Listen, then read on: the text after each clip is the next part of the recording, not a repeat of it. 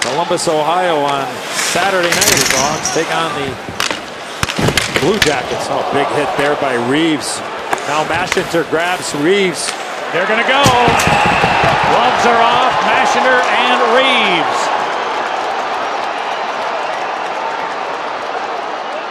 They get together. Couple of wild rights have mostly missed. And they wrestle one another to the deck. Well, remember, those guys came together before that last TV timeout. And remember what Andrew Shaw did with Matt Dumba for the Minnesota Wild on that hit from Dumba on Kane the game prior. Here's the big hit. Good hit by Ryan Reaves. Gustafsson takes the worst of it, and then Mashinter asks him to dance. And a couple of big humans there throwing some big haymakers, and